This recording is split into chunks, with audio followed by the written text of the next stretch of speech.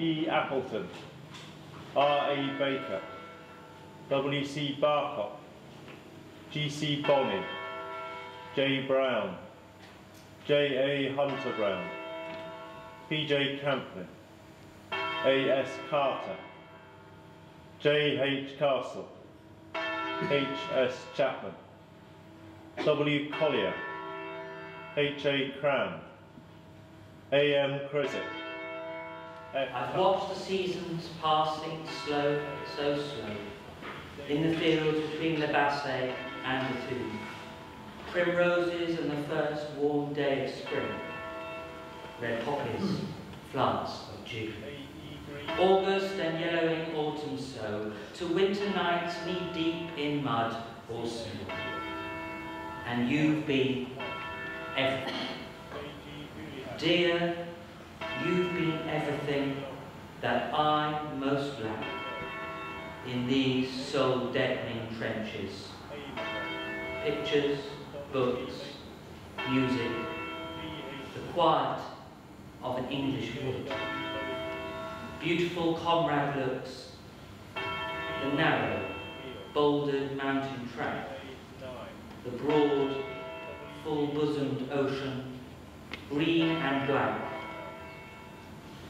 and peace, and all that's good. S. G. Pulford, G. C. Roberts, N. Target, they shall grow not old.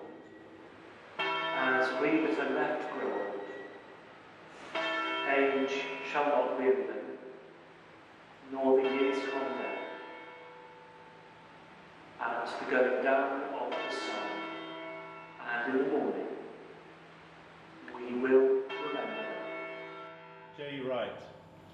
O. I. would.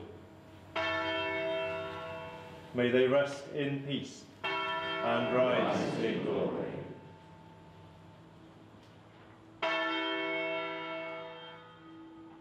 The Ladies' Midnight Walk took place in June in aid of St Luke's Hospice. Registration started in the Harrow Leisure Centre at 10 o'clock, when the walkers were issued with water bottles, a pink t-shirt and fruit. The 1400 ladies in pink, many walking to raise money in memory of loved ones, were entertained in the hall by singers and dancers.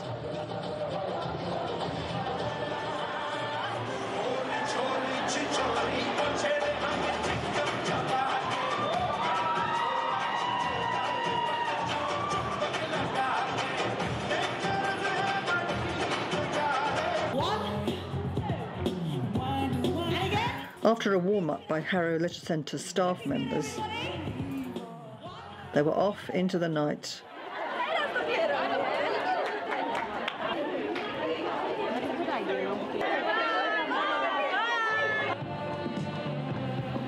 While the hall was swept and prepared for their return, the ladies strode around the 10-mile route, which took them through Wealdstone and up to Stanmore, along Uxbridge Road, down Honeypot Lane and down to Kenton Road, then back via the Kenton Library. Their efforts raising a colossal sum for the charity.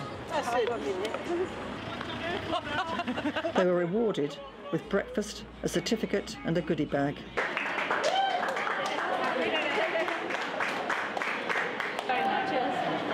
Uh, really enjoyed it, thank you. We enjoyed ourselves. It was really, really nice walk. Well, I'm 65, not bad. Crazy. Over two weekends in June, more than 30 artists welcomed the public into their studios. This is my grandson, Rory. I've called it uh, 17 Come Sunday, and um, I just liked the pose um, and the, uh, the play on light. I went to Brunel uh, to do ceramics, and while I was there, I also saw they had a course on dichroic glass and it was completely hooked.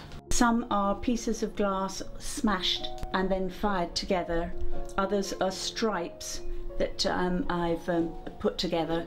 This one is uh, semi-precious stones and uh, the uh, circle is precious metal clay painted and fired onto ceramic beads. I've actually been turning off and on since I was 14 when I learnt at school. This one here is made out of English walnut and I've left some of the interesting bark on its bottom and then inside there was this strange um, piece which was probably the end of a branch and I thought it was too interesting not to have it actually inside the bowl. Brunel University where I do my uh, ceramics. I go twice a week. Apple wood, the ash from the apple has been put on there to give, create this effect. People call it the urchin. It's a pot, uh, ordinary straight pot, and then I added pieces onto it, and each piece has been pinched out, stuck on and pinched out to create. Then I bashed it on its side to sit, to form something like this, and you can put a candle in there. I took up art like this um, after I'd had children, and um, I didn't want to do any. I didn't want to go out selling myself. It was easier to, to paint what I want um, and hopefully sell. Most of the portraits on display here are all done from life. I also um, have a passion for hens. So some are very realistic and figurative and others are quite uh, expressionistic or even abstract. In November, the annual awards ceremony was held to celebrate the contribution of volunteers in Harrow, Harrow's Heroes. I think you can tell how good a community is by the people that give their time to us free of charge to make things better for everyone. The Elliott Hall in the Arts Centre was packed with all the nominees and their guests, and the evening was hosted by members of the council, with awards being presented by local dignitaries and community leaders. Over 60 volunteers were nominated to the council by the public in five different categories. The nominees in each category paraded over the stage to receive their certificates. And then the winner in each category received their Crystal Award. Harrow Street Pastors, an interdenominational Christian organisation which reaches out to everyone regardless of race or religion.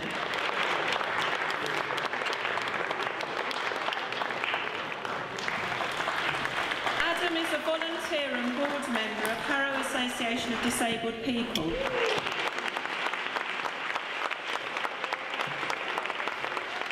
Then the overall winner was presented with her award. The Volunteer of the Year 2013 is Anne Groves. Anne is worthy of recognition for her tireless work and for making a massive difference to Harrow and to the lives of thousands of Harrow residents over many years. Anne Groves.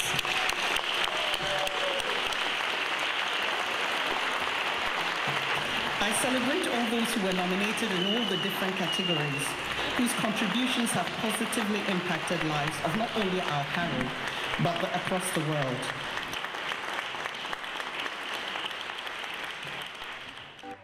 Work started early, setting up stalls outside St Albans Church in North Harrow for their summer fair, many with suitable protection to cope with the doubtful weather forecast. All manner of produce was set out, both homemade and bought products, catering for both the outsides and the insides of the punters. During the day, traditional fairground music was provided by a modern charity fairground organ, pumping out its wheezing music, controlled by these cards. MC for the day was Vian Gresty, who welcomed the local MP Gareth Edwards. The centrepiece of the day was, of course, the opportunity of abseiling down the 100-foot church tower in aid of the St Luke's Hospice. There was no shortage of entrants, encouraged by Vian Gresty, who had a chat with the first customer. You feel as though you're much closer to God. Oh, that would be nice. You can hear my prayers. And how much do you think you've raised for St Luke's? I signed on yesterday. Yeah. Um, goal is to raise as much as possible. Professional climbing instructors from the Rock and Ice Company were running this event and made sure everyone was securely buckled into their safety harnesses before setting up on the long climb up to the top of the church tower. There was a mixture of nervous apprehension and excitement, and it was certainly a great opportunity both to support St Luke's and have a go at this unusual activity. Yes, oh, look at it. It's like a professional. Things in the morning, we've got a 100% success rate so far. Well done. Give them a big round of applause. Well done. Uh, uh,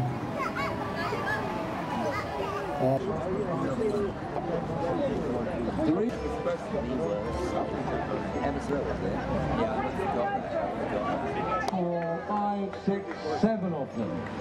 Seven of them.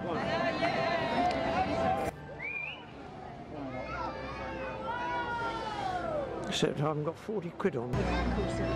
Yeah, there you go. You're sorted. When the participants finally landed safely, their great relief and delight that it was all over was very evident. It all looked great fun, so our cameraman decided he would like to have a go, completely forgetting that in order to abseil down a 100 foot of church tower, you first had to climb 130 stairs or so to get up to the top. And of course, it started to rain. A helpful bystander filmed this for him, as he needed both of his hands to hang on to the ropes. Nevertheless, he made it safely, all great fun and support for St Luke's Hospice.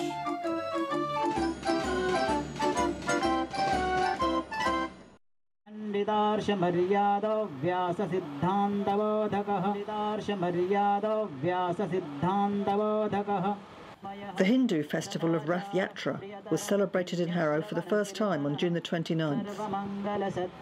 Hundreds gathered in Queensbury Park in Honeypot Lane, where three highly decorated chariots, one for the men, one for the ladies, and one for the children, were the centre of attention. The central figure in the chariots is Lord Jagannath. The other figures are his brother Balabhadra and his sister Subhadra. ત્યારે ભક્તો એ જે આનંદ છે એ આખો અનોખો છે. દેશનો રાજા પણ આવીને હાથમાં દોરડો લઈ લે છે. મહિમા છે. Chants and prayers were performed and offerings given to the gods. અજન્મને નમઃ શ્રી કૃષ્ણાય નમઃ નારાયણાય નમઃ હરે નમઃ હરે કૃષ્ણાય નમઃ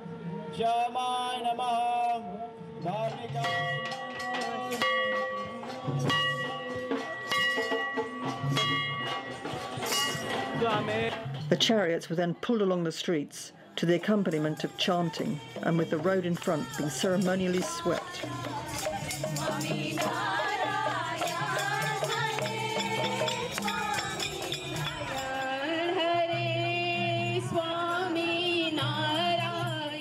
Lord Jagannath is a deity form of Lord Krishna, meaning Lord of the universe, and giving us our word Juggernaut, an unstoppable force.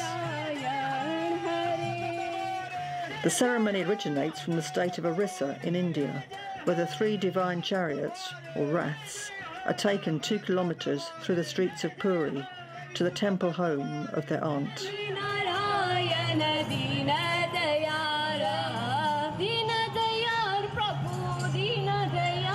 Raths process to the Sri Swaminarayan temple in Wood Lane, Stanmore, where a pujan, a prayer service and a feast were held.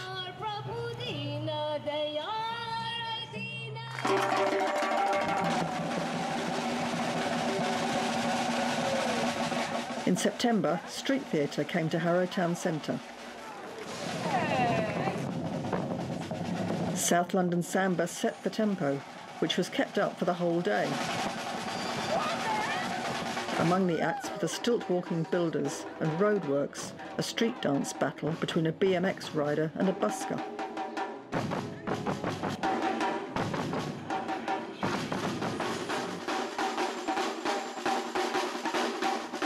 Skadoosh Dance told a wonderful tale using oversized cardboard boxes. And he set sail across the water. He whirled around. There, in front of him, stood a horse. He accepted the horse's offer, and on they went. This was followed by Spin Cycle, featuring the contrast between this modest recycler and gross consumerism as represented by the spoof game show Spin Cycle.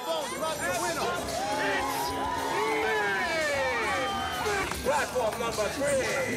Harry, in the world of luxury. How oh, bad do you want it? How much would you take? Ladies and gentlemen, your break, your break, your break, you're in the pig. Take him away. What a big loser.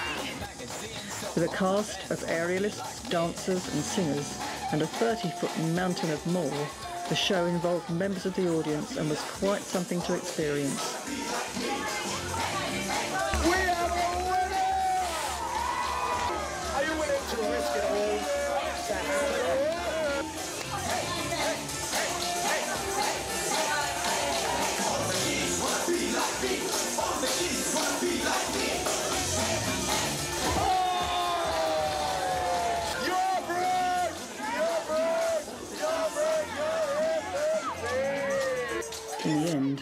Game show host got his comeuppance. The whole afternoon was noisy, vibrant and energetic and certainly livened up the town centre for the afternoon. Hey, hey,